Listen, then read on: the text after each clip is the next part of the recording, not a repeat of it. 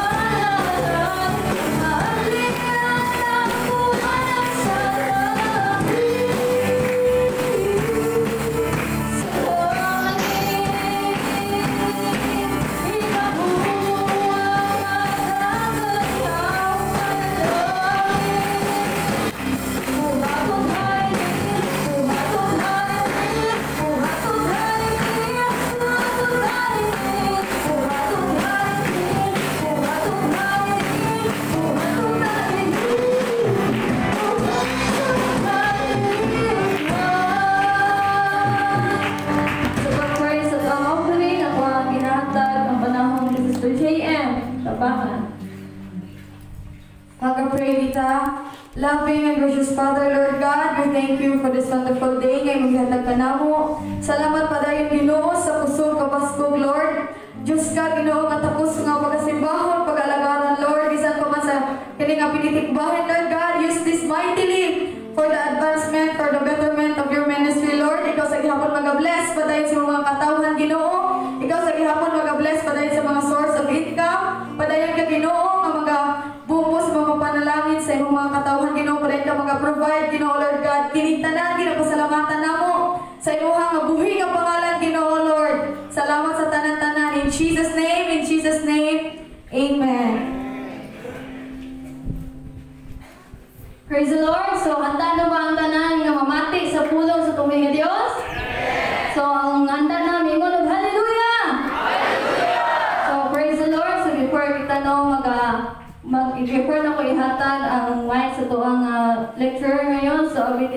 introduction lang no, sa speaker natin sa araw na ito. So, so based po sa aking naobserbahan sa kanya, isa po siyang loyal na tao. No, isa siyang faithful na tao sa gawain na pinakaloob ng ating Panginoon sa kanya. So, most importantly, isa siya sa mga magpapatunay na God that we serve is a God of miracle. Praise the Lord. So, without such further ado, akin ay binibigay ang mikropono sa ating lecturer for today. Now, let's welcome Pastor Kent Aguilar from Antique Church. So, ang lahat ng nagsasabi, God bless Pastor Kent. Praise God. Good morning, everyone. Good morning. Let's clap our hands to Jesus Christ. Again, I would like to give a couple of honors to our General Overseer, uh, Pastor Ronald Janilo, and to the rest of the pastors of Apostolic Fire Church. At magandang umaga po lahat ng campers for first General Conference of Apostolic Fire Church. Give me five na palakpak. And after that, okay na. Give me five na palakpak. Sabay-sabay tayo. And after that, we will shout Jesus. Okay, as I count one to three. One. One mo muna. One, two, three. Jesus! Okay, please be seated mga kapatid. Again, uh, it's an honor to be here, to be a lecturer of our first uh, subject on our second day uh, sa ating uh, first general conference. At ako po ay nagpapasalamat sa ating Panginoon na, na we have this uh, wonderful topic that the Lord God wanted to feed us. Uh, alam niyo po ba, the title of our lecture today is uh, Loyalty and Disloyalty. This must be included uh, in our in our I mean is, isa ito sa mga subject or lesson na dapat nating malaman. Why? Because this is a requirement. Everybody say requirement. Kasi I've seen here in the AFC na maraming magagaling na, na preacher. Maga, maraming magagaling na, na mga lecturer. Maraming magagaling na mga na mga potential leaders. Uh, but this is a requirement na most of, of the potential leaders and aspiring leaders of AFC uh, they fail in this kind of subject which is loyalty. Even in the Old Testament, uh, way back thousand years ago, maraming magagaling na mga right hand ng mga hari. Maraming magagaling na mga na mga mandirigma. Subalit pagdating sa loyalty, they fail. And today, and this morning, we have to study and I do hope everyone will cooperate. Everyone must listen. Kasi kung hindi ka makikinig, masasayang lang iyong panahon. And for sure, you will be in danger. And you will never stay long in AFC kung hindi ka papasa sa subject na ito. Bakit subject?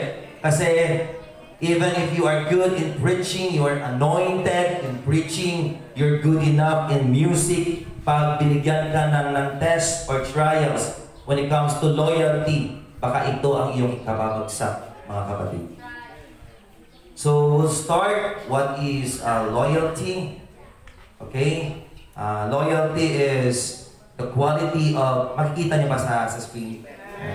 So loyalty is the quality of being loyal or a strong feeling or support or allegiance.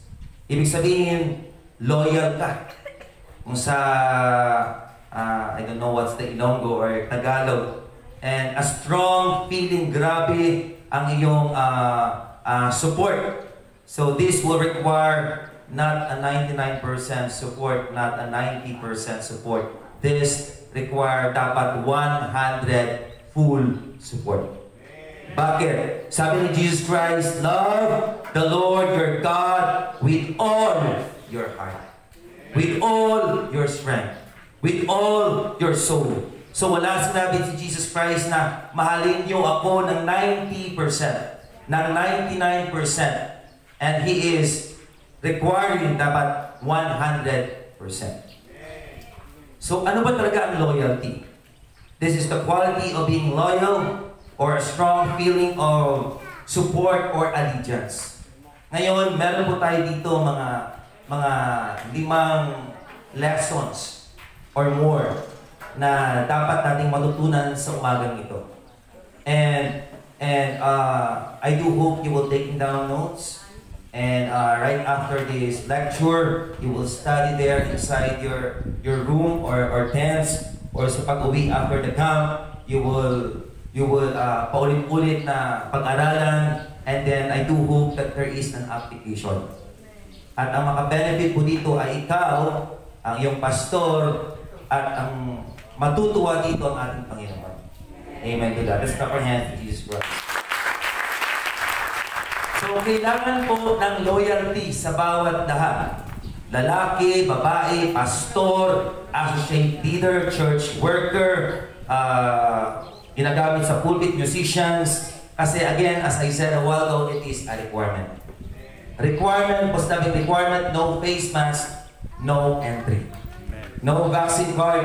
Uh, I, I don't know right now, parang open na yata sa lahat. Pag wala kang vaccine, you could travel. But those time of pandemic, pag walang vaccine card, you are not allowed to travel.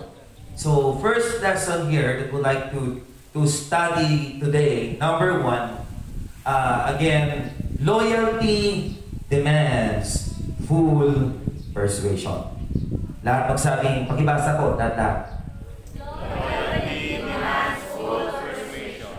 Again, ang loyalty, kailangan niya ng buong persuasion.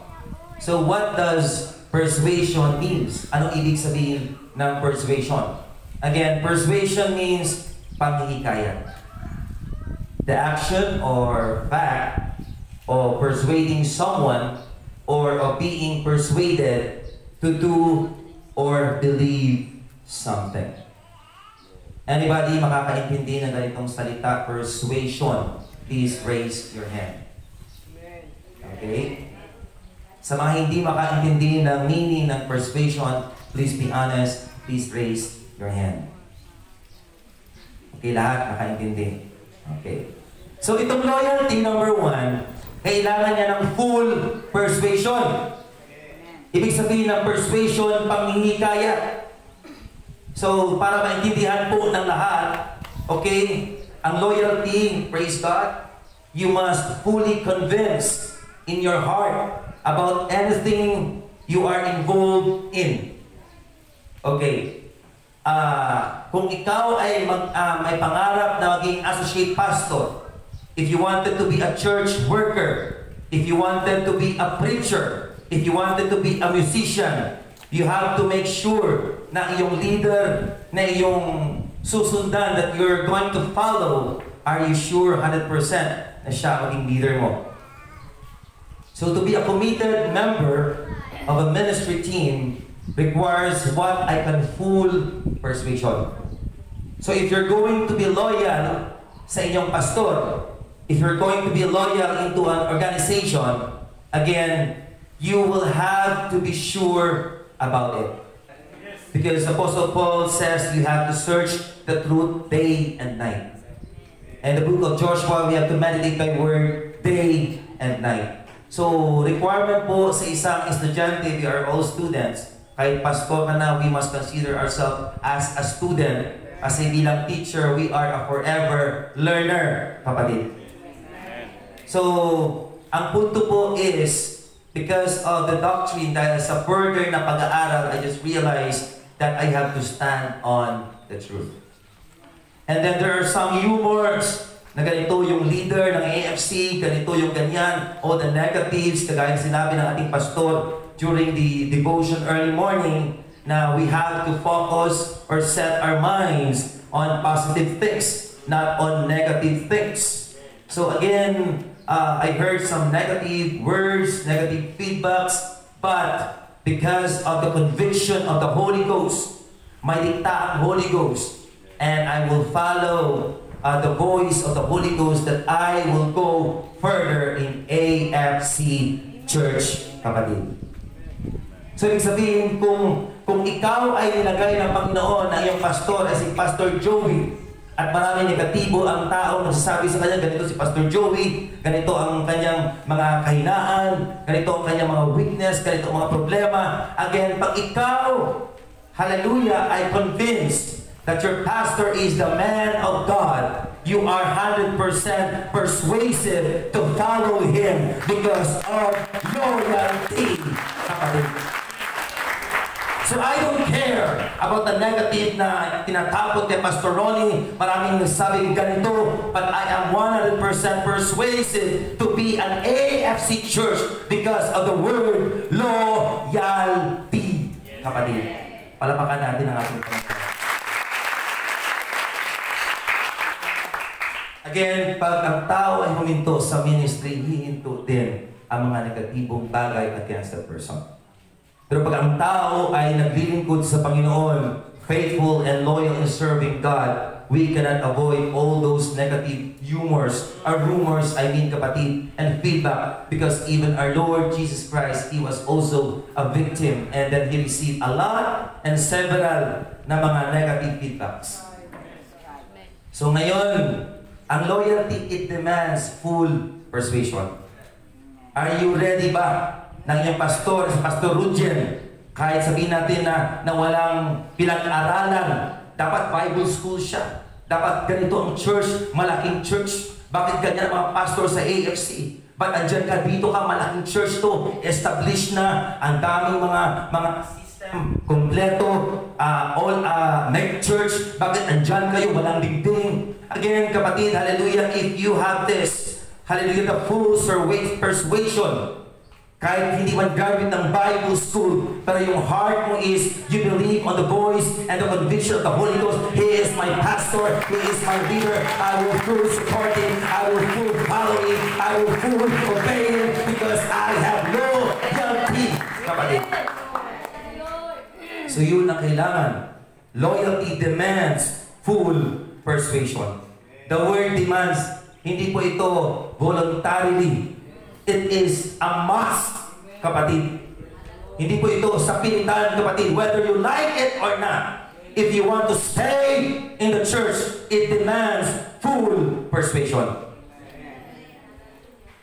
Again, alam niyo po ba in the book of Luke, chapter 23, verse 2, Jesus was accused by many people. Sa 20th century New Testament, yung translation dyan is, He misleading our people. Mismo si Jesus Christ ay pinagkamalan na ginahaylo niya ang tao, mga taga-Israel. He was accused by many people of misleading the people, and according to the four Gospels, uh, teaching our people sedition. Si Jesus nagatudlo ang wrong doctrine. And according to 20th century New Testament, ba't wala?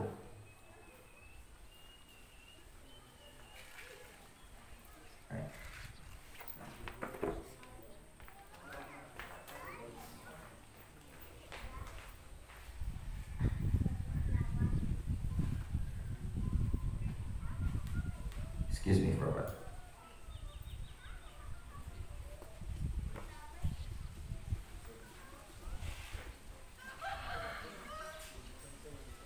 So si Jesus Christ, he was accused by many people. Uh, he is misleading other people. At may mga negatibo talaga na feedback against him. And, okay, yan na, salamat po.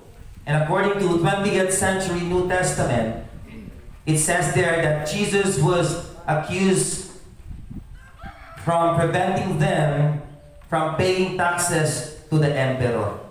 So ibig sabihin, ang ating Panginoong Jesus ay naka-experience na hindi lang ordinary na negative feedback, kundi napaka mabigat na kaso. Ang kaso na ginahaylo ang tao sa katotohanan. We believe that Jesus Christ came here on earth because He is the way, He is the truth, and He is the life. However, the people na kanyang pinuntahan, although ang kanyang major na purpose is to save the people from their sins, subalit baliktad po ang accusation. Ang daming miracles ng ating Panginoon na ginawa, and then, pero ang tao ay not convinced. Pero binansagan pa rin si Jesus na ganito. Misleading, teaching our people sedition, at the same time preventing them from paying taxes to the emperor. Again, next, according to New Testament in modern English, telling them that it is wrong to pay taxes. Another one, emphasized New Testament, claiming to be an anointed king. So again, in Luke 11 verse 15, Jesus was accused of being able to cast out devils, uh, devils, because he is, sabi dito, according to the New Testament in modern English, kung makita niyo po sa screen, in league with Beelzebub, the chief of the evil spirits. Ulitin ko po. ang ating Panginoong Jesus ay nabansagan na siya ang leader ng masasamang espiritu. Pag ang iyong pastor ay sinabihan na nagdadala ng maling doktrina, pag ang AFC Church ay binansagang erroneous doctrine, kapatid, hindi na kayo magtataka dahil mismo ang ating Panginoong Jesus, hallelujah, ay nakaranas din. Jesus Christ experienced this. You are a follower of Jesus Christ. Automatic po, kapatid, that you will also experience your leader, your general overseer will also experience that. And the loyalty kasi minsan, makadinig ng negatibo, aalis sa church. Pag nakadinig ng negatibo, hindi na magbugno sa pastor. Pag nakadinig ng negatibo, hindi na mag-cooperate sa church. Pag nakadinig ng negatibo, again kapatid, sad to say, masamang tao na ang pastor. But loyalty demands full persuasion, kapatid. The more na negatives na matidinig mo sa iyong pastor, you will remain loyal and staying in the church. The more negative that you heard about AFC, the more you will do full work to the ministry of Christ. Amen to that. Alam niyo po ba lahat ng mga apostles ng ating Panginoon na si Lord Jesus Christ? Jesus Christ had His earthly ministry here on earth for three and a half years. And then, sa mga 12 apostles, and then isa doon ay bumagsak pagdating sa loyalty. And his name is Judas the Iscariot. At pinagpalit ang ating Panginoon sa halagang 30 pieces of silver because he became disloyal. Pero kapatid, kahit mayroong disloyal out of 12, isa ang disloyal, there is always a replacement. In the book of Acts chapter 1, again, we believe that Jesus Christ replaced Judas the Iscariot to Matthias. Pinalitan. Kung hindi ka loyal, papalitan ka ng ating Panginoon. Kung hindi ka loyal,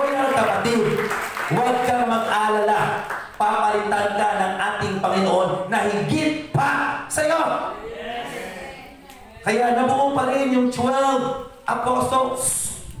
And then, kompleto pa rin yung 12 apostles. Akala ni Judas Iscariot, hallelujah, na magalagapak or babagsak ang ministry ng ating Panginoon.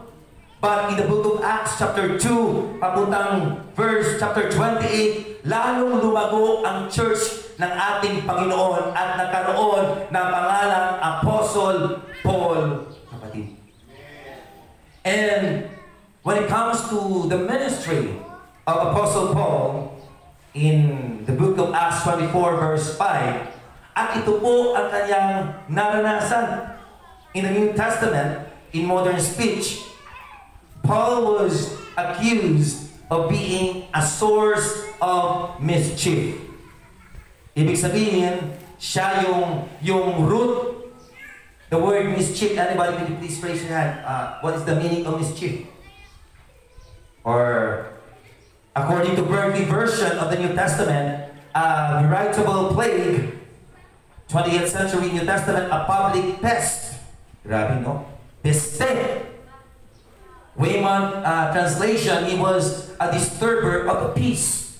Siya ang nag-create ng labugay. Imbis na i-promote ang peace, siya ang nagpapasimuno ng kaguluhan sa kanilang panahon.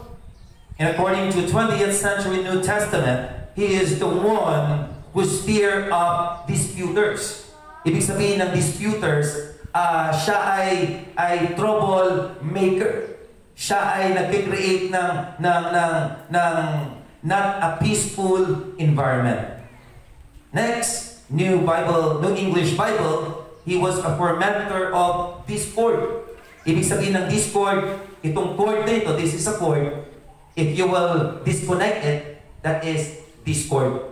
Ibig sabihin, instead of unity, instead na mag-unite Si Paul daw, itong Apostle Paul, na student ng ating Panginoon, isa sa mga produkto ng mga apostoles ng ating Panginoong Jesus Christ, binansagan siya na siya ang nagpro-promote ng discord or disunity sa kanilang panahon.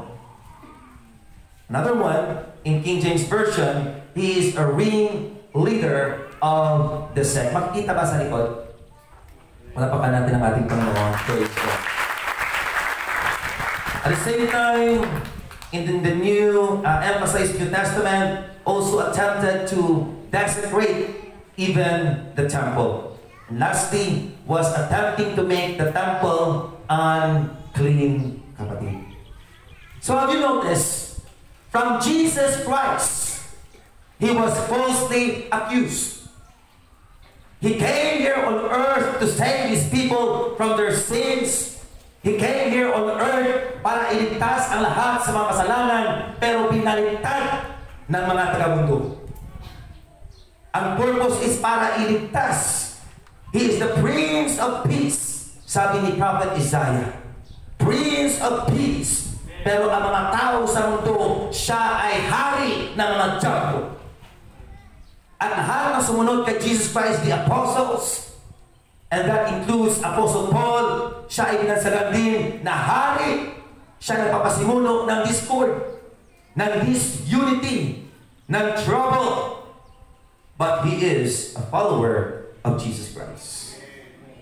Kaya kapatid, hallelujah, kahit one month ka pa lang dito sa church, kahit two months ka pa lang dito sa church, kahit six months ka pa lang dito sa church, it doesn't mean, hallelujah, na hindi ka loyal. It doesn't mean na 10 years ka na, loyal ka na kapatid. Again, loyalty will not base on how long you stay on the church, how short you stay on the church.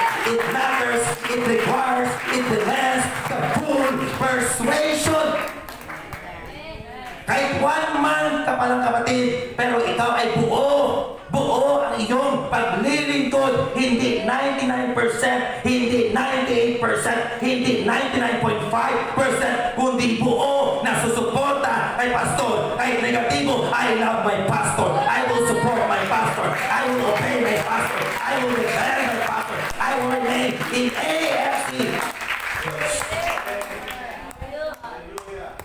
So if you decide to stay on AFC, since this is our first general conference, you must be prepared confidently, defend the integrity of the ministry. Nabansagan ng AFC ng erroneous doctrine. Nabansagan, okay lang pastor, ang AFC ng mga angel-angel. Yes, bago ko lumipat dito mga kapatid, I heard from other people, I will say this ALJC, na si Pastor Ronnie daw, hallelujah, angel, angel. But I don't rely to the source of that pastor from US. I rely on prayer, asking the Lord the conviction of the Holy Ghost, waiting for the sign, at hindi po ako nagkakamali sa aking desisyon because the perfect one that you consulted is a perfect one, kapatid. And that is our Almighty God. Hallelujah. Kaya sabi ni Apostle Paul in 2 Timothy chapter 1 verse 12, I am not ashamed, for I know whom I have believed and am persuaded.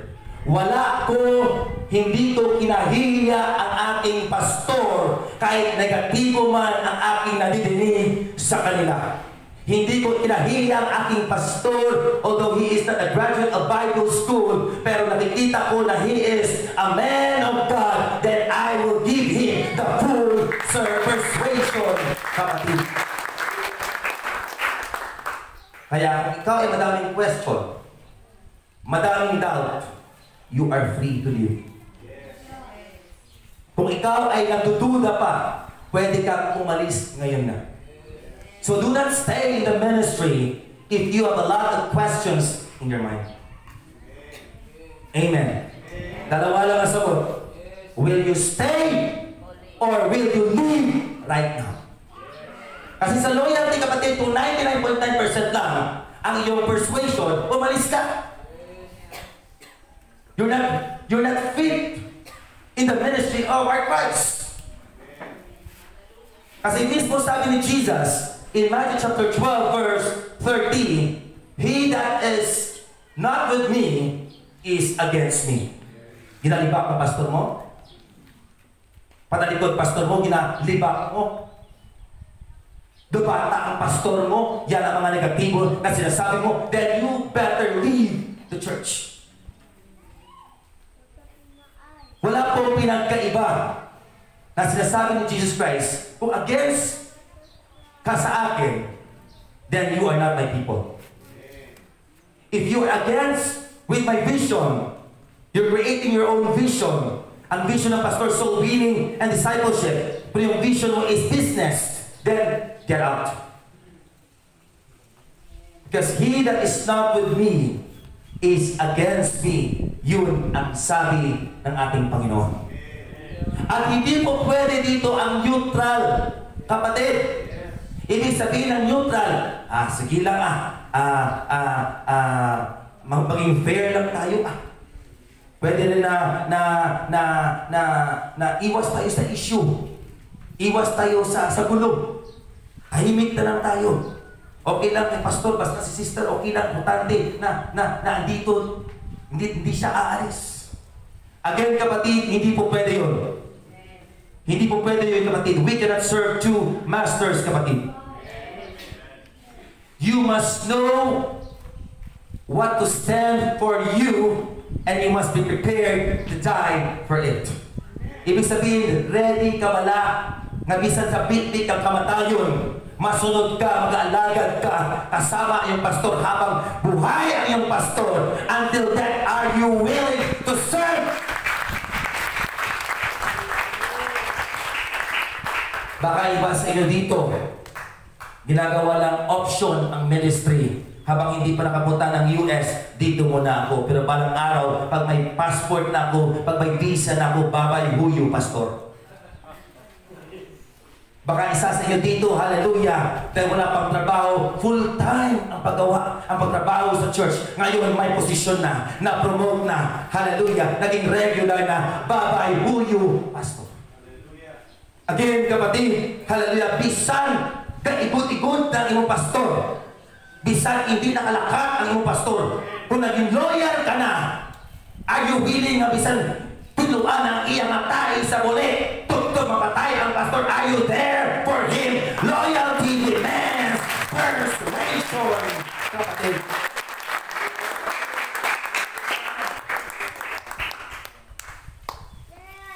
Number two. Pangalawang lesson about loyalty na dapat matutunan natin sa umagang ito. Your loyalty must be to the higher authority. Dahil this is the general conference, uh, we composed of eight churches. And then the word higher authority, that refers to our senior pastor. And then dahil sa ating system sa AFC Church, we have the general overseer, yung pinaka-head, and we believe that is Pastor Ronald Chinilo. Could you please stand, our general overseer? Palapakan po natin ang ating general overseer. Praise God. Please be seated. Thank you. And then meron po mga local pastors from Surabay, from Hinubaan, from Mulabog, Upper Mabini, uh, from Antique, Chulupa, Hallelujah. And then, uh, these are the eight churches. Again, kapatid, if we will not study this, ito po kadalasan ang mga issue sa bawat organization na pag lumaki na ang isang local church, hallelujah, nagiging supreme, nagiging ah, nagkaroon sa pastor, nadinig ko kay Brother Rafael na, ano yung pastor ba yun, na meron ng electric fan yung ulo. So again, in a large organization, like the church, uh, mega church, or like example, the UPC, or other apostolic church, na malalaki talaga, again, uh, meron talagang leader. And in our status right now, right now, we have the general overseer. Again, pag merong pastor, hallelujah, na nais na na to adopt the nature of Satan, yun na lang. Because they are Satan, before his name is Lucifer, when you say Lucifer, a beautiful name, a name with the beauty of holiness, pero merong, merong lim, lima doon na that the Lord found out that He wanted to rule over the God. Sabi niya, I will ascend, I will ascend. Gusto kong lapawan, gusto kong lapawan. Pag meron po dito sa atin mga pastor, na nais magipagkompetisyon sa ating general overseer, na nais na nailapawan ang general overseer. Again, alam po natin kapatid, pag we'll do that, if we practice that not in a, in a godly way or godly system, then that nature, that behavior, we will adopt from Lucifer. Naintindihan po ba? So again, pag meron po na-admit sa ganitong church, again, automatic yung pastor, hallelujah, iipunin ang mga members. Tataniman ng mga negatibo against the general overseer. Kawawa ang general overseer. And then, lahat hahatakin. Praise God. Pero kung ikaw ay merong loyalty, again, if you have this loyalty, if you felt and realized that your local pastor is against the will of God, kung hindi sa kalooban ng ating Panginoon, then your loyalty must be to the higher authority. Naintindihan po ba natin kapatid?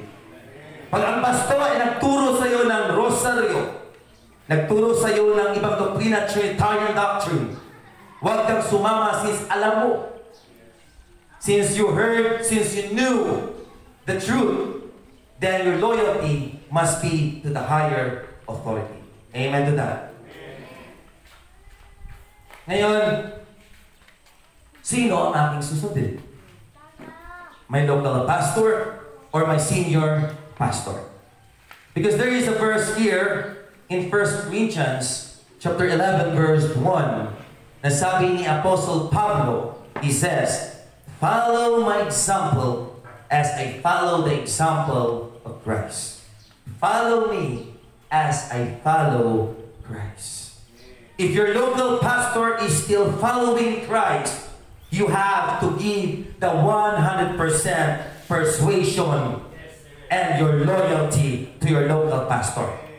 If your local pastor is submissive to the general overseer, kapatid, and, and, and obedient and following Christ, follow him. But if your pastor, local pastor, is no longer a follower of Christ, for example, committing fornication, committing adultery, commi- committing unclean things, kapatid, do not follow, mga kapatid. Palapakan natin ang ating Panginoon. So this is one of the issues when it comes to loyalty, mga kapatid. Ngayon, ikatatlo, I believe I have a lot of time here because I have 1 hour and 30 minutes. Pag lecture po, again, alam ko sanay kayo dahil lahat, kadala, ah, karamihan sa inyo dito are mga students. Kahit apat na oras, you to be able to sit and listen. But I only require 1 hour and 30 minutes. Amen to that. Palapakan natin si Lord Jesus Christ. Thirdly, a loyal person does not withhold information. Ulitin ko. Ang loyal na tao does not withhold information. The word withhold information, please, eyes on the screen. Basahin niyo po. Ibig sabihin, you refuse to give information. Withhold information, ibig sabihin, you suppressed or hold back an emotion or reaction. Alam niyo mga kapatid, fellow pastors, the rest of the brethren here of Apostolic Fire Church. Hallelujah. A loyal person, makinig po, is open to his senior pastor about whatever is going on. Pag ikaw ay very open sa iyong pastor, we could say that you are a loyal person. Pag may tinatago ka sa iyong pastor, hindi ka loyal. Kasi ang pinakamasakit po sa lahat, ang pinakahuling taong nakaalam ng problema mo ay iyong pastor. At ang pinakaunang taong nakaalam ng iyong problema ay iyong kumare na si Marisol at si Marites. Amen. Kaya, pag ikaw ay open, hallelujah, to your senior pastor, then you can say that you are a loyal person. Pastor, loyal ako. Pero naga lang man, nakabok yung mga busong, uri na kamaan si pastor. So, we consider that someone loyal if it tells about corruption that is taking place. Kung meron pong mga mga bagay na hindi kaaya-aya sa church, pag hindi mo tinatago at sinasabi agad ang information, then we could say that you are a loyal person.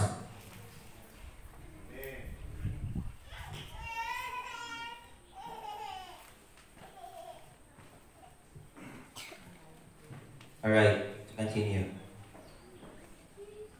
So again, there are several examples of people in the Bible not withholding information. Lahat po ng mga lesson dito sa loyalty, there is a biblical reference. Hindi po tayo pwedeng magturo dito na walang walang ah, biblical reference. Kasi kailangan ang loyalty po dapat itong subject na ito dapat maipasa natin. Kaya sinulat ni Apostle Pablo, Apostle Paul wrote this in the book of Corinthians, 1 Corinthians chapter 5, verse 1, that it is reported common that there is a fornication among you. So when Apostle Paul uh, visited the church of Corinth, the church of Corinth, Corinthians, alam po natin na ang Corinthians ay isa sa pinaka malawak at malaking church sa panahon nila. And we believe that they have many teachers. If I'm not mistaken, they have 15,000, 10,000 teachers, kapatid. AFC Church, sa Antique, we only have three teachers. Dito sa main, how many teachers do you have, Pastor? Isa lang ang teacher. And then, uh, I mean, isa, Antique, mga nagtuturo sa Sunday school. Ay, alright. For dito sa AFC Church, sa kabuuan, we have one ordained ordained teacher, and that is Teacher Vincent. Teacher Vincent. Pero itong itong Church of Corinthians, Church of Corinth, they have 10,000 teachers. So in short, napakalawak ng kanilang ministry. And then, and then there is a report na na napaabot or na, naipaabot kay Apostle Paul. And it says it is reported. Everyone say reported. So you notice here that Paul did not have a word of knowledge about the extent of immorality. Ibig sabihin, wala siyang kaalam-alam na meron na meron nang nagaganap na immorality or fornication sa kanilang ministry. Subalit, nalaman niya ito when someone came to him and gave a report. Naintindihan? So a good and loyal structure works by faithful people who inform the top, the top, yun po, ang ating general overseer, about anything that is out of order. Pag ikaw mo ay nagbibigay ng report direkta sa iyong leader, pag merong mga hindi ka nais-nais na nangyari sa church, direkta agad, then you could, we could say that you are a lawyer. Kasi minsan sa church, ayaw ko magsumbong, baka mag-away kami. Ayaw ko masabihan si pastor, baka mamadamay ako. Ayaw ko sabihan si pastor dahil ayaw ko ng gulo. You are not a loyal person. Ayaw ko sumali dyan, ayaw ko mag-involve kasi, kasi sakit sa ulo. You are just like Judas the Iscariot, bukas kamay. Again, hallelujah, we don't have to withhold information. Lahat ng sabing, do not withhold information. So in 1 Corinthians chapter 1 verse 11, for it had been declared, sabi ng Apostle Paul, look at the screen, declared unto me of the house of Chloe that there are contentions. So ibig sabihin, yung nag-report kay Apostle Paul is Chloe. Si Chloe ang lumapit kay Apostle Paul na, Apostle Paul, meron po dito nagaganap na fornication, meron po dito nagaganap na, na problema sa Church of Corinth. Pero actually, Apostle Paul, even though he is anointed and he is apostle, walang kalam-alam. But because someone reported and came to him, and her name is Chloe, dun po, it was declared. When you say declared, gin pa madulaan. Proven na tama yung, yung report na binigay ni Chloe. So again, kapatid, such reporting leads to the edifying of the church. Anong ibig sabihin niya? Pag ito ay iyong ginawa, if you will do this in your church, don't think na marites ka. Don't think na marisol ka. Pag may tao na sabi sa iyo, Pastor Ken, ikaw lang ako hamalan sa niya. Ay man, ay man, ano nga Pastor, hindi gusto pagkapit pag, pag, pag, pagkatuan, pero ikaw lang katuan ng Pastor Ken. Kung pwede, hindi mo ni palabot ni Pastor Ron, ni Pastor Ken, amo ni. Again, if someone is speaking against your pastor, kapatid, hallelujah. Again, the Bible says in the book of Proverbs, the north wind driveth away the rain. Anong ibig sabihin niyan? Yung rain po, yun po ang mga negatibo na tinatapon sa church. Yun po ang mga negatibo, persecutions against the church. Yung north wind, ikaw. And how to be a north wind? Of course, pag may taong nasasabi na negatibo sa iyong pastor, huwag kang maging isang doble cara. Oo, sister. O tama, David, anay. Oo, sister. Kami sa among sa among church. Again, kapatid, hallelujah, this is the reality. I will speak this boldly because I am dealing about loyalty, kapatid. Pag meron ganyan, don't be afraid to report directly to your pastor because it is against the ministry. Amen. I don't care kung sabihin kang dapat hindi mo sinabi, dapat tinago mo lang. Again, pag ginawa mo yun, you are not a loyal person. Naintindihan po ba natin? Hindi ka loyal pag tinatago mong information, lalo na pag pastor ang ginalibak. Hindi ka loyal, hallelujah, pag tinatago mong information na feeling safe ka lang, lalo na pag ang church mo ay sinisira. Hindi ka loyal kapatid na lalo na pag lumapit ang sister mo, hallelujah, sabihin ganito, dapat all information when it comes to church must be reported. Why? Why? Lahat masabing why? Gusto niyo malaman? Again, meron tayong business. Ang business natin, this is the church business. Hindi po pwede kapatid, hallelujah, na meron pong disloyal spirit sa church na ito. Hindi po pwede kapatid, hallelujah, na meron discord spirit sa church na ito. Itong church, the AFC church, we will promote the culture of allegiance. We will promote the culture of loyalty. Pag hindi ka loyal, automatic cut off ka, kakas ka, agwa ka, layas ka. Sayang ang pag-stay mo dito kung disloyal ka. Sayang ang pag-upo mo dito kung disloyal, umalis ka.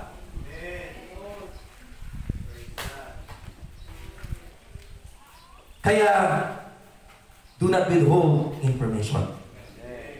Young people, love life, then open to the pastor. Huwag yung mga ninong o ninang o mga marites. Yung pastor ang dapat maunang makakaalam. Family members, buong pamilya, yung pastor alam dapat ang information. Even pastors, local pastors, hallelujah, your strength, your weakness, be open to your pastor. Kasi pag hindi tayo naging open, maraming pastor ang nalalaglag at the backside nowadays because isa po ang problema, withholding information. Pag naging honest ka, pastor, ito po yung weakness ko, hallelujah, then He will give you the knowledge. He will give you the wisdom na galing sa ating Panginoon. And you will be saved, kapatid. Mas mayat pa kauna, mas maayo pa kauna kung katoliko ikaw. May problema ka, kadto ka sa kwarto, sa my room. Father, ang ni problema ko, I confess, I confess. Ba't di na gawin ngayon? Amen. Amen. Nasa tama kayo. Paglapit nyo, Pastor, Pastor, hindi ka mag-pray ng Hail Mary na sampung beses, kundi you will speak in tongues, you will be revived, you will receive the knowledge and wisdom from the man of God.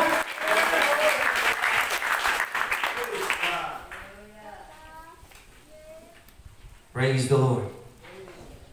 Lesson 4. Loyalty is based on principle, not on emotions. Napakandang topic po. Long loyalty, yung loyalty, ay binabase sa prinsipyo, hindi sa emotion. So when we define principle, it means a fundamental truth or proposition that serves as the foundation for a system or belief or behavior or for a chain of reasoning. Emotions, ang pinakaiba po ng principle at saka emotions, ulitin ko, please eye on the screen para maintindihan na lahat. Okay, later na pagsulat. Ibig sabihin, yung meaning ng principle, it is a fundamental truth or proposition. Kumbaga, you are standing on the truth. Nagatindog ka sa kamaturan. Ang imo nga, nga ipinagalaban ay yung katotohanan. Amen to that?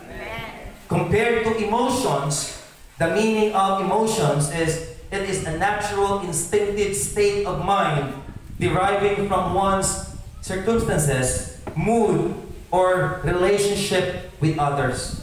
Anong ibig sabihin niyan? For example, because you are my brother, di ba, usually ang bansag sa mundo na a family is thicker than blood. That is, blood is thicker than water. Amen. So yun ang sabi nila, yung family daw, yung blood is thicker than water.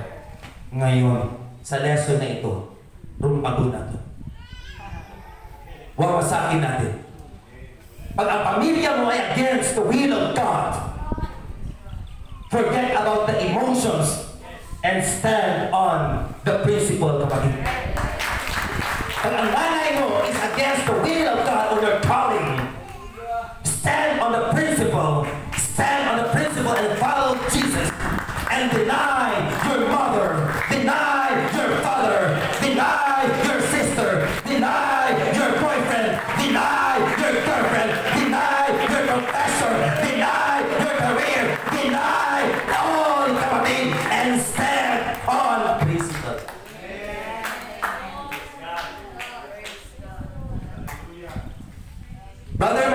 tayo 9 o'clock ngayong gabi. Yes, Pastor. Wala pang 9 o'clock. Online na, Pastor. Naka-prepare na. Pagpatak ng 9 o'clock, 5 minutes. Pastor, sakit lang. Dahil nais ng aking kuya na pupunta kami doon, sasamahan ko lang saglit. After one hour, bumalik, kawawa ang pastor, nag-aral, nag-prayer, nag-fasting, naka-ready, lahat. after one hour, hindi lang one hour, alas 11 na, kapatid. And then reason, kasi si kuya, ganyan, kasi si kuya makamagal. Again, kapatid, kahit kuya mo yan, pag ang Panginoon ay nag-set ng appointment na mag-aaral, 9 o'clock is 9 o'clock, stand on the principle, forget about your brother, forget about your brother, your family, go with Lord Jesus Christ. Pag sinabing general conference, iwan muna ang mga gawain sa bahay. Doon ka sa conference because gawain ito ng ating Panginoon. Pastor, may sakit ako, may nararamdaman ako. Emotions din yan, kapatid. Emotions din yan, kapatid. Kasi if you focus on your emotions, with your feelings, with your internal organs, kasi as a human being, we have three composition. We have the body, we have the soul, and we have the spirit. The body, that is the sense of, uh, of smell, sense of hearing, sense of seeing, sense of touch. Hallelujah. Yung heart, ganyan, sense of feeling. If we will rely, if we will rely on our emotions, hindi ka na makakapunta ng church. Hindi ka na makaka, makapagpuri sa Panginoon dahil may nararamdaman ka. But I was perfectly amazed with this woman bleeding for 12 years. That the Bible declared that she was bleeding for 12 years and when she heard the name of Jesus Christ of Nazareth, ginkamang niya, nanukdok siya sa crowd and then she told herself, if I will touch the, the hem, the garment of Jesus Christ, and I shall be healed. Nothing is impossible with Christ. Because the sanctuary of Christ is a place of healing. You could receive healing. You could receive miracles. Amen to that. Talapakan natin ang ating Panginoon. If you will rely on your emotions, lalo na may karamdaman ka kapatid, hallelujah, again, you are not loyal to the Lord. Kahit may sakit ka, I don't care anong klaseng sakit yan. Yung sakit mo compared to the woman bleeding for 12 years, pansit na. But this woman bleeding for 12 years, crown, mas madami pa sa black na sarili mo sa Quiapo. Nanoktok, nanoktok, sumingit, pagtando, healed instantly. If you are loyal to God, I don't care kung na bleeding that I will go there. Of course, if you are loyal, 100% persuasive to Christ, no matter how many crowd is, if you're loyal, then the Lord will also give His loyalty to you, and you shall be healed.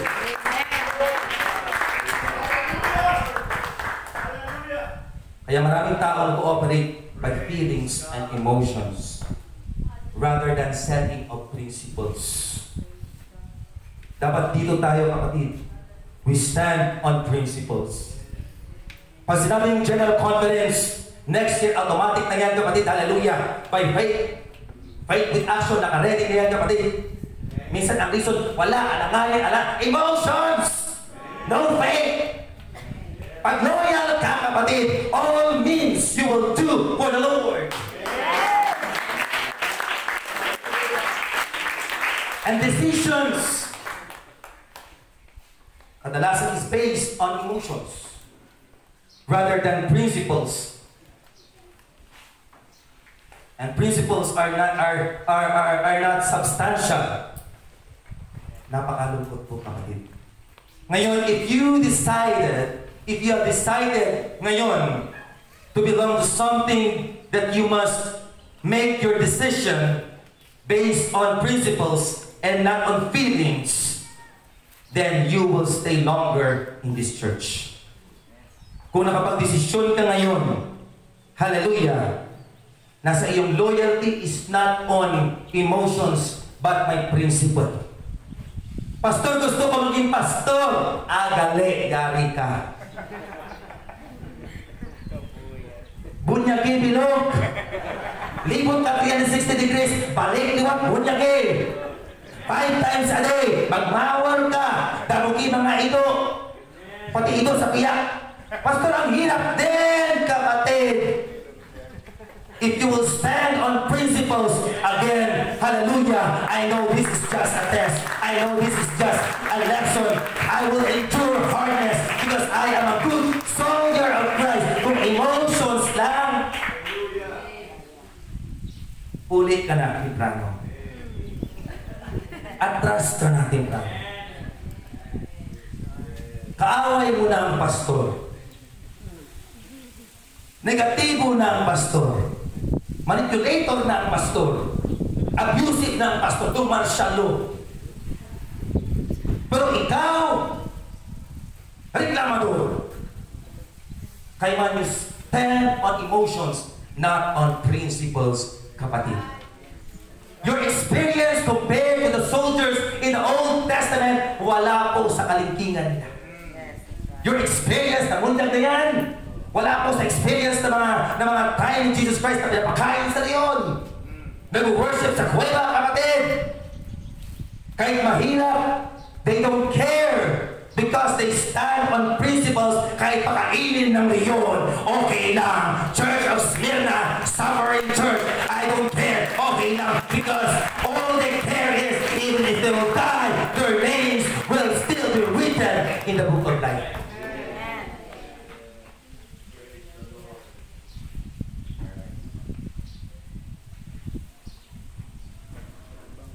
Ah, please help. Thank you. Ngayon, alam niyo po ang Church of Smyrna sa Book of Revelation, they, they became, uh, they suffered a lot. And then, sa panahon nila, they became famous because ang kanilang trending is the perfume which is uh, Smyrna. O sa aton, ang trending subong, yung iPhone Pro Max. Sa panahon nila, it is the fragrance Smyrna. Kung wala kang ganyan, hindi ka in. And sa panahon nila, mga kapatid, pag wala kang ganon, outcast ka. Pero ang mga Christians noon, ang apostolic noon, I could say apostolic because they're baptized in Jesus' name, they received the Holy Ghost. They're being cast out because ayaw nilang bumili or makipagsabayan sa sa trending. At meron po doon isang market na na na na kailangan pag bumili ka dyan, you could avail all the privileges. Pero pag hindi ka bumili, I mean, is pag bumili ka dyan, you could avail all the privileges, but in one condition, you're you're going to deny your faith. You're not going to worship the one true living God. Kasi ang mga apostolic, alam po natin, right, right now, alam po natin na nagrabe po sila sa pagdating sa pagpupuri sa ating Panginoon. At sa panahon nila, they don't wanted na, na, na magsasamba sa ating Panginoon. Kaya nangyari po because they cannot be able to to to apply or I mean, to avail these privileges, nagiging kawawa po sila mga Ultimong pagkain, bibili ng pagkain, hindi kayang gawin. Ultimo na, na, na makipag-trade or business, hindi pwede because ayaw nila makipag-get involved sa system ng Smyrna time. So, ibig sabihin, they stand on their principles. Di bali magutman, di bali hindi makakaon, importante hindi lang ako pabawalan na magsimba sa akong Diyos. Yun po sila noon. Yun po sila noon. And it was reported that the Church of Smyrna pinakain sa mga leon alive. At habang tumatagal, tumatagal, because they stand on principle, not on emotions, their fragrance, their fragrance of suffering, lalo silang humahalimuyak sa pang-amoy ng ating Panginoon. Kaya ibig sabihin kapatid, if you will stand on principle, not on emotions, you will have the fragrance of suffering na lalo kang bumabango sa pang-amoy at panglasa ng ating Panginoon kapatid. Ay mahirap as long you stand on the principle. It shows that you are loyal, kapatid. Di paling, hallelujah na, na outcast ka, importante loyal ka, you stand on principle, mabango ka sa harapan ng ating Panginoon. Alright. Ngayon, meron kong kwento. I have a story. I think this is very applicable sa lahat ng mga churches. Merong isang rebelde na umalis sa church at hinatak ang madaming miyembro. Sabihin natin sampu. Kung may 30 ka na, na members, nahatak sampu. Sa paghatak niya, ang nahatak niya, mga baguhan. Pero yung mga, yung mga tumatagalan sa church ay naiwan. Ngayon, after one year, bumalik itong mga nahatak na, bagu, na. Sabi sa pastor, Pastor, pabalik na ko dito, Pastor. Dahil alam kong matino kang pastor.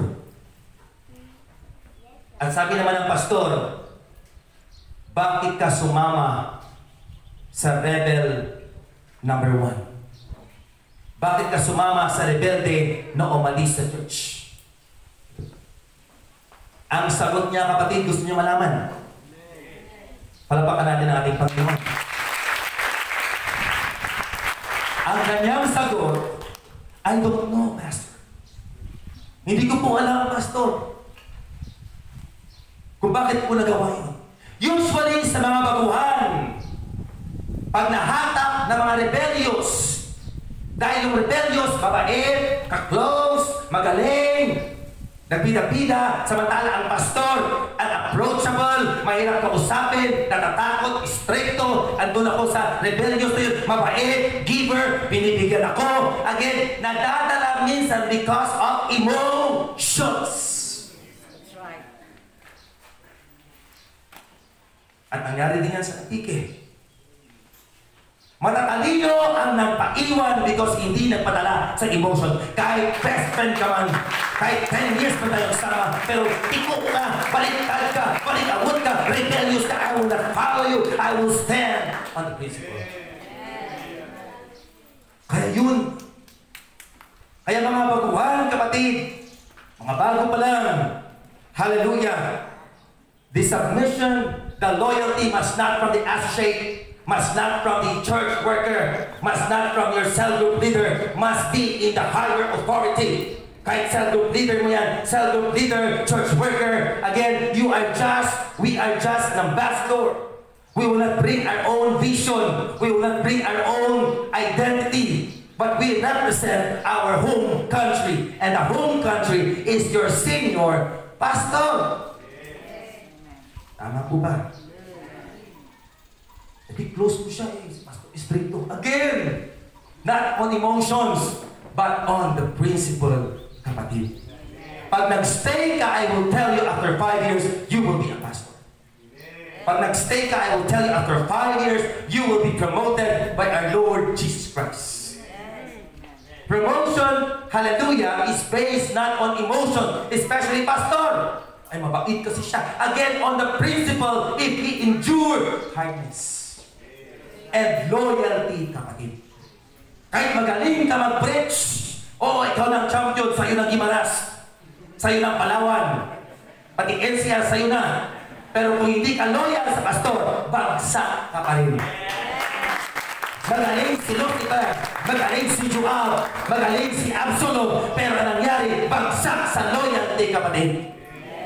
Ang nangyari, ang ending, destruction, kamatayan. Amen.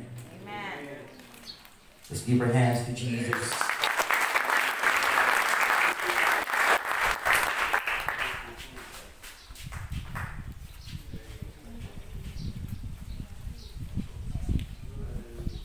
Ikalima, loyalty will cost you relationship and friendship. So it will cost you means to lose Ibig sabihin ng it will cost you, lahat ng sabing it will cost you. Ibig sabihin, it will lose something good or valuable.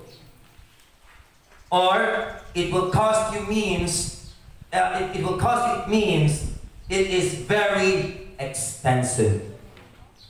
Ibig sabihin, yung loyalty ko kapatid ay napakamahal. Napaka-expensive! Magkano ka? 150. So everything has a price. Lahat po ay may presyo. Tama po ba? Registration nyo, 100, 150. O tama, 150 nga. 50 sa young, 30 sa kids. Education has a price. Wala kang pera, hindi ka makapagtapos. That's the reality. Even your salvation has a price. Akala mo libre lang? Ang kaluwasan. Hindi po pera katapat sa kaluwasan. May, pe- may bayad po yun. May presyo po yun. So the Bible says that we are bought with a price. Ikaw ay binili. Ikaw ay may presyo. May presyo. Hindi ka mumurahin. Kasi kung mumurahin ka, talagang mumurahin ka talaga. Pero ikaw ay mamahalin. Kasi kung mamahalin ka, talagang mamahalin ka talaga kapatid.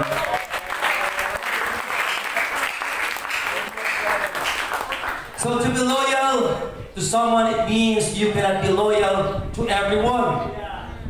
Alam niyo po ba, to be loyal to someone, kung loyal ka sa pastor mo, hindi po pwede maging loyal ka sa lahat. Kung loyal ka sa pastor mo, hindi po pwede loyal ka sa general overseer ng UPC. Kung loyal ka po sa eh, Pastor Joey, hindi pwede na loyal ka sa ibang pastor sa Sagay. Kung pastor mo si Pastor Ronnie, hindi pwede sa ibang pastor ka maging loyal. Kung may problema ka, huwag ka magdipit ng ibang pastor. Kasi mamahalin ka, kung mamahalin ka, mas mamahalin ang alagad ng Diyos. Eh para ininsulto mo ang Diyos na mamahalin siya, pumili ka pa ng ibang produkto na meron ka ng produkto na nakalaan na galing sa Diyos.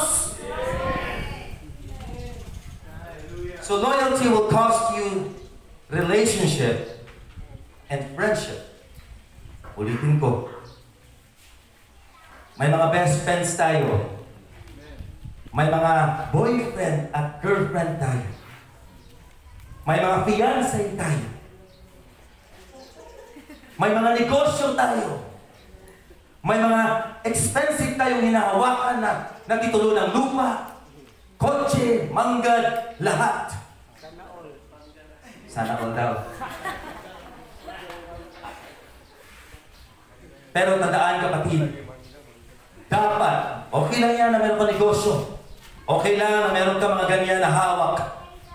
Pero ang napakahalaga, yung loyalty natin, hallelujah, dapat bigyan ng malaking importansya na hindi pwedeng palitan, hallelujah, and that should be maintained, hallelujah, and that is, our loyalty must be to our Lord Jesus Christ. Ah, ano masabing loyal ka Jesus Christ kung sa pastor kung hindi ka loyal? Ephesians 4.11 The foundations of the church. Wala pa rito ating Panginoon. But in spirit, He is here. I mean, is wala pa yung second coming ng ating Panginoon. And then, taking in charge of this ministry are the, the, the, the, the, the fivefold ministry. The pastors, evangelists, the teachers, the apostles, the prophets, the fivefold ministry. Hallelujah. Pag hindi ka loyal sa kanila, how could you say that you're loyal to Christ? Tama po ba? Ngayon, loyalty will cost you relationship and friendship. Ibig sabihin, kailangan mamili po tayo kapatid. You have to choose. Amen. Ngayon, sa school kasi, lalo na sa mga estudyante, sino lahat mga students dito, please raise your hand. Amen. Let's clap our hands to Jesus. Thank you.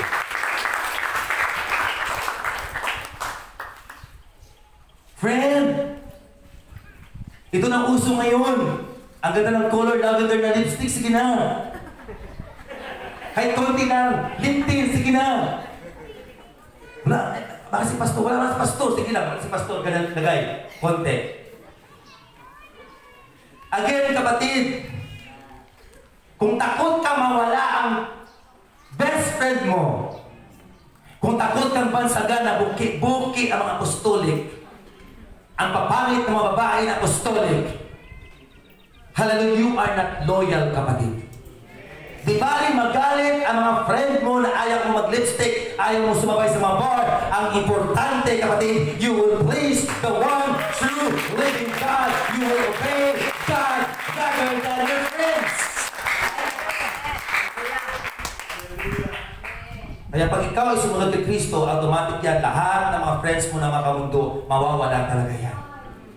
Huwag kang manginayang. Kaya sabihin mo number one supporter pa yan sa church. Kung hindi nag-obey sa iyo, kapatid, huwag kang manginayang na mawala sa church. Ang importante, kapatid, you will stand on the principle, hallelujah, you have to choose, choose God, obey God, please God, preach the truth, preach the hardness, para mabago ang tao. Ayaw magpaturo, ayaw magpakorek. Huwag ka matakot kung wala ng support. Choose to be who you are. The Lord designed you to be a fearless rebuker. Maintain the standard of this church. I don't care if you're a billionaire to change the doctrine. You have to choose and stand on the principle. Pamili ka.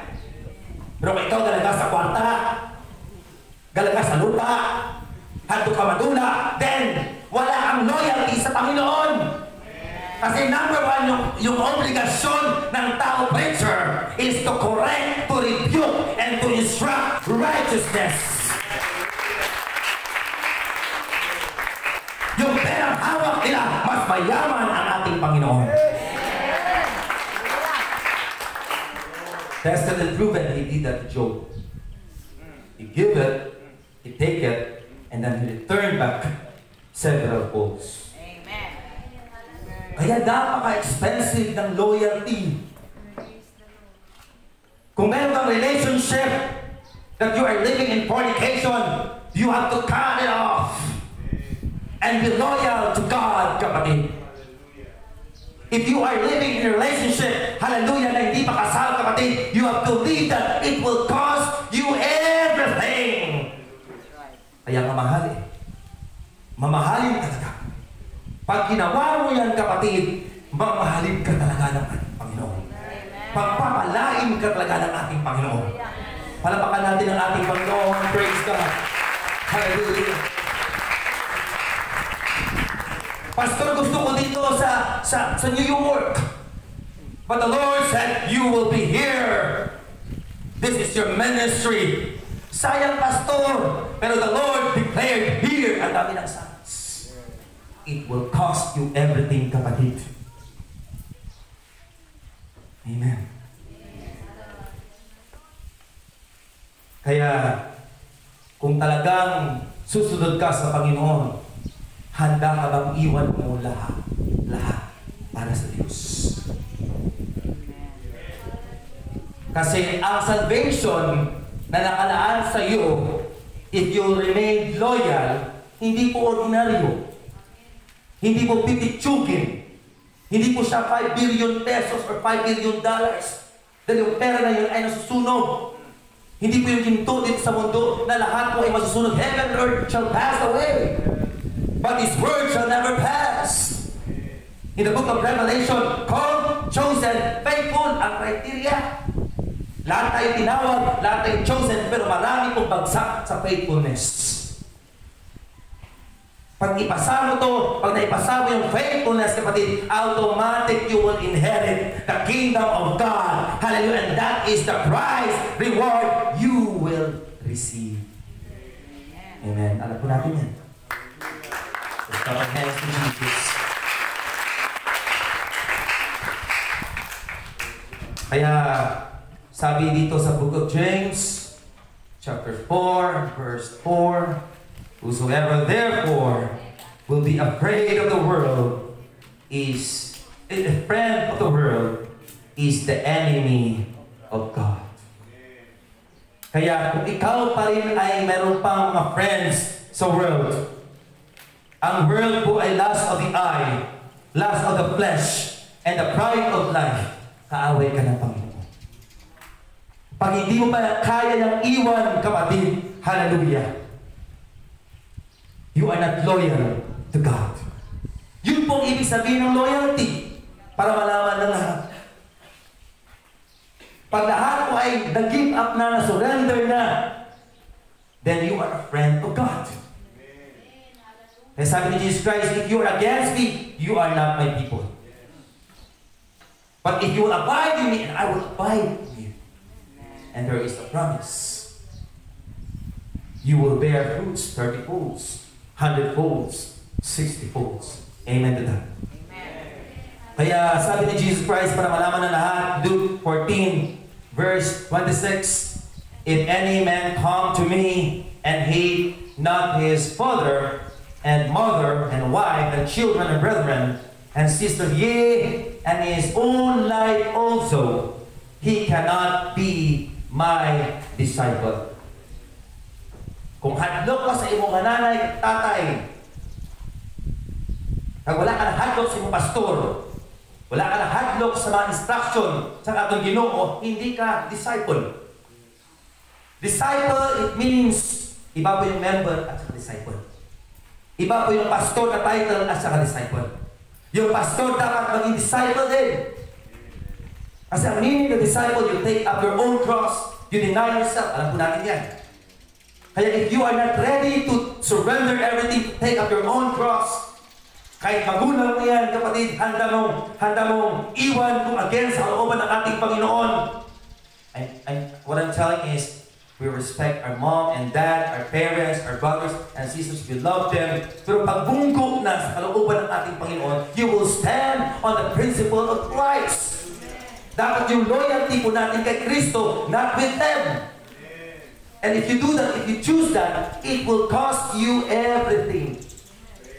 Kaya expensive po ang loyalty. Alam mo mga testimony dito na, na narinig ko. Di balik bumagsak sa klase, importante, hindi ako bagsak sa Panginoon. Pero mas maganda na hindi ka bagsak sa klase at hindi ka bagsak sa ating Panginoon. Palapakan natin ang ating Panginoon. Praise God.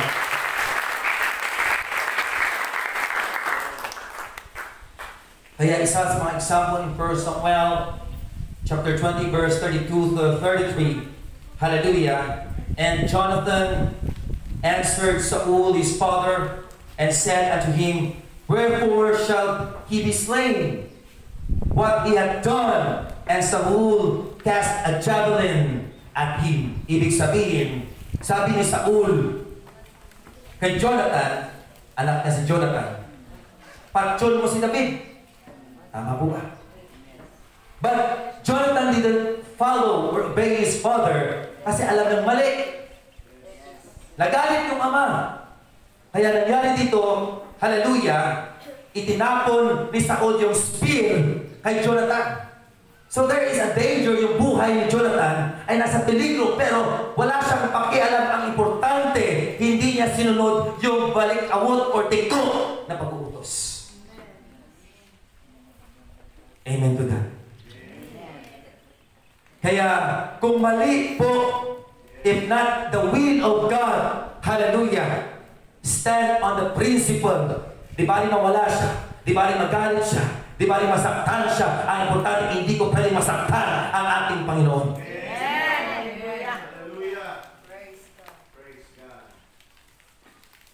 Di ba rin ang aking si, si Ma'am Sir Church as a school.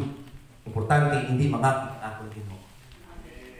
And number six, loyalty may cost you physical things. It may cost you physical things. Ibig sabihin, the word physical things, ito po yung mga ari-arian, kotse, bahay, property, career, at alam ko rito na isa sa inyo dito is a former Zumba dancer.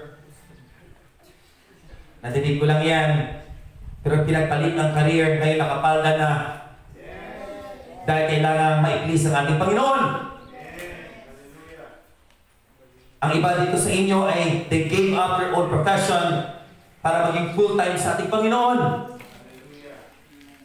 So, it happened po kay Moses in the book of Hebrews chapter 11 verse 24 to 25 na si Moses, yung Bible nagturo sa atin, he became a man, he had to choose between a being loyal to God or to Pharaoh.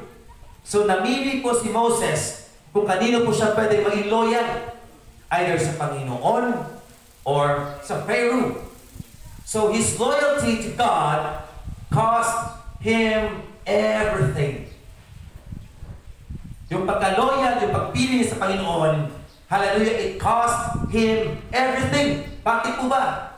Kasi si Moses, he is destined to become the next prime minister of Egypt. Ibig sabihin, siya ang papalit sa may pinakamataas na posisyon sa buong Egypt. Imagine that. Parang ikaw din na, okay, Thank you for that. To Egypt, okay. Pero, ang nangyari is, mas pinili niya, hallelujah, his loyalty cost him his citizenship, his passport, and his royal status. And he lost it all because of Christ. Di baling hindi ka maging presidente ng Pilipinas, ang importante, you have the passport and citizenship in heaven and a follower of Christ. Yun po ang loyalty, kapatid. Kung alam mo, trabaho mo na hinto ka sa ministry, iwan mo yan, dun ka sa ministry na you will receive the citizenship, the citizenship in heaven. Eh, Pastor Dolyari, ang tanong, mabastay ka dyan. Doon yan tapos USA, babackslide ka dyan. Kaya sabi ni Paul, by faith, Moses, when he was come to years, this that you know, refused to be called the son of Pharaoh's daughter, choosing rather to suffer affliction with the people of God. Mas pinili niya yung kapigtian sa mga tao ng Diyos kesa sa physical things na karangyaan o kayamanan. Di bale, wala sudan ang pastor. Bayaan sa mga maraming members. Ang importante, tatlo ang imo pagtuo. Tatlo ang imo doktrina. You stand on the principle.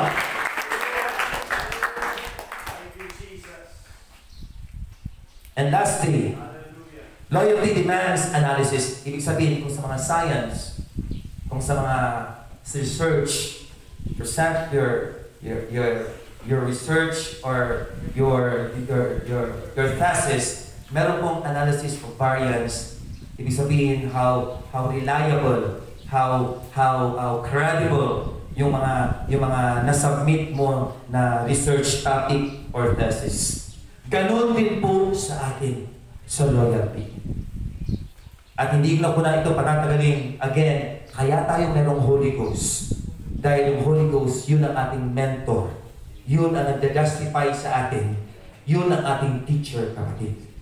Kaya whatever the negative people will say, kung alam mo anointed ang pastor, sumasama ang Panginoon, huwag mo ipagpapalit ang iyong pastor sa ibang pastor.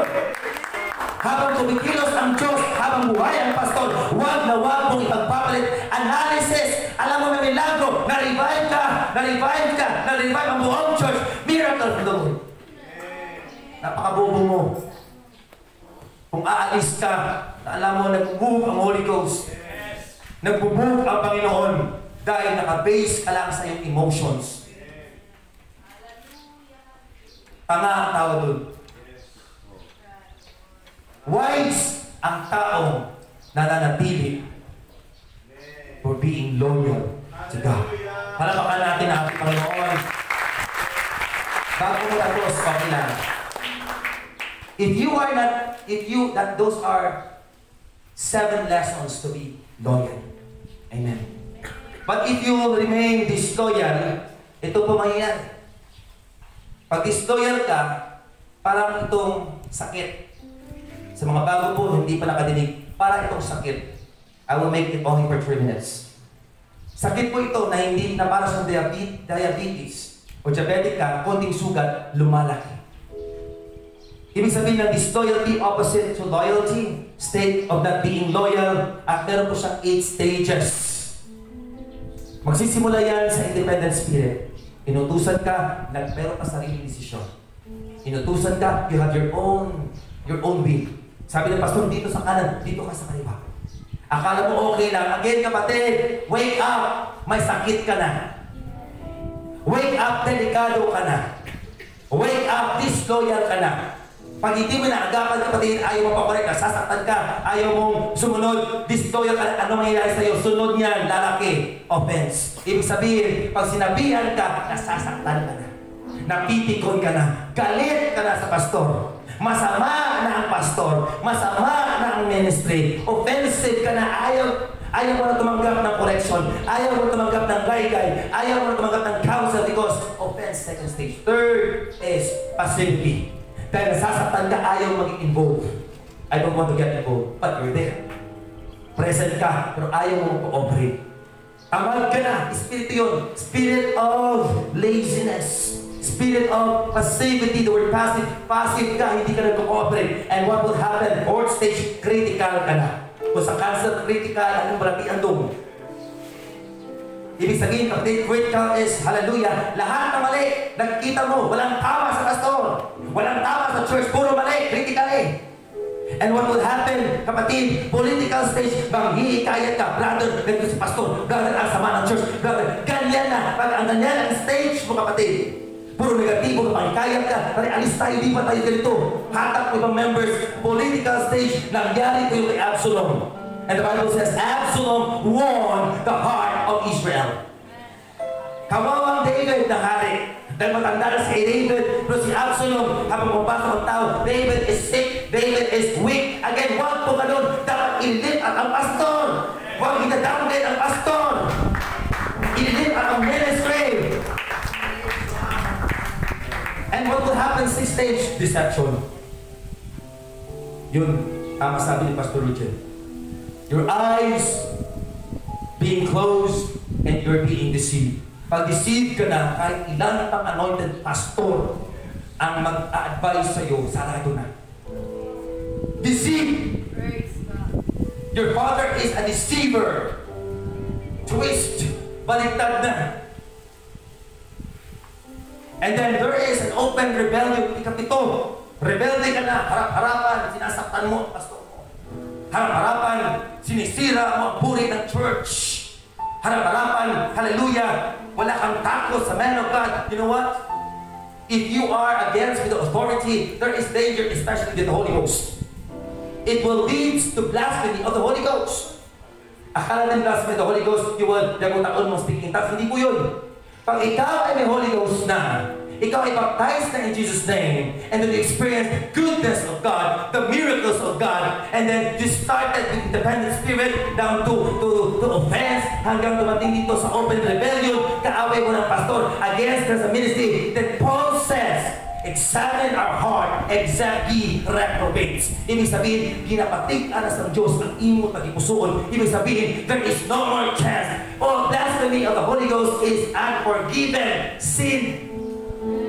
Mas tayo pa na backslide, may chance ang bumalik. Pero ang blasphemy of the Holy Ghost, kapatid, wala na ikapatawalan sa sala. And it will end up to execution. Ang, mapat, ang papatay sa iyo, hindi yung pastor, kundi mismo ang Panginoon na. Absalom died because of being disloyal. Joab died because of being disloyal, kapatid. Shimei died being, being disloyal, kapatid. Judas the Iscariot, there is no repentance, only remorse, no repentance. Nangitog siya because of being disloyal, kapatid. Judas Iscariot. And Ahithophel also, kapatid. Also, his counselor, because of pride, ayaw tanggapin na nagkamali siya. Yan, ayaw mapapalit. Nagikog din because of being disloyal. And Lucifer from heaven because of pride, not loyal. He was cast out here on earth and a candidate for the second death, which is the lake of fire. And later on, he will be executed into the lake of fire forever and ever and ever and ever, kapatid. Kung hindi tayo loyal, akala mo normal lang. Kaya marami pong Christians na hindi aware na meron palang ganitong klaseng sickness. At maraming Christians na akala na ako lang, bakalit naman ako, bakalit. Baka ito na ang last mo the execution. Kung hindi ka magbibigay ng, ng if you not exert full pagbawi or, or, or restitution sa ating Panginoon, you will be executed. Again, kapatid, hallelujah, I do hope that this Apostolic Fire Church, we will promote the culture of allegiance. Ibig sabihin, there is no room of disloyal spirit in this church. Santa. That this church, all the people, all the saints, have a loyal spirit so that we will be behind of Jesus Christ when He will go here for His second